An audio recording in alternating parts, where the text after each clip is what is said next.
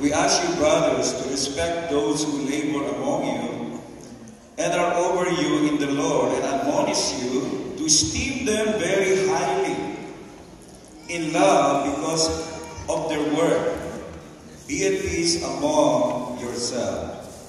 So, bilin naman po ni Pablo, igalang ang mga namumuno sa iglesia to esteem them very highly.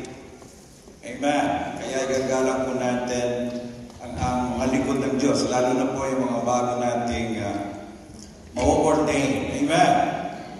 Huwag po natin silang sisindakin kaagad sa ating mga iglesia. Bago pa lang po sila, hinay-hinay, lang muna yung iba. Amen. Ayan. So ngayon po to the pastors to be ordained, sabi po sa Ephesians chapter 4, verse 1, I urge you to live a life worthy of the calling you have received. So, laging uh, may responsibility.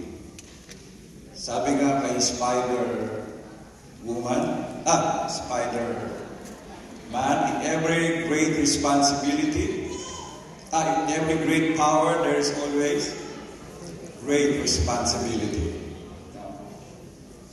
Kaya, I just want to exhort you also, the devil has a high responsibility before. Dahil sa kanyang 10 stones of gems, na umakat na siya sa mga levels of leadership in heaven. Pero dahil sa kanyang uh, pride, Tumaas na ang kanyang mga level 1, level 2 gems, level 3 gems. Later on, sabi niya sa Isaiah 14, I will make my throne, I will make myself like the Most High God.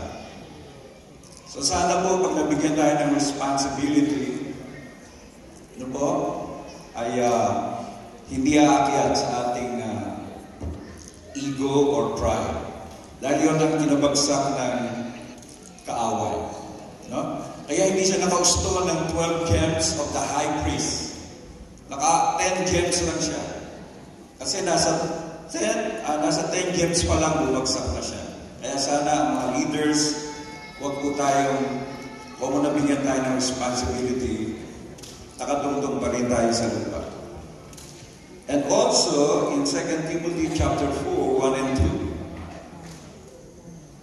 2, ang sabi po rito, I charge you in the presence of God and in Christ, who is to judge the living and the dead, and by his appearing and his kingdom, preach the word, be ready in season and out of season. Rebuke, rebuke, and exhort with complete patience and teaching.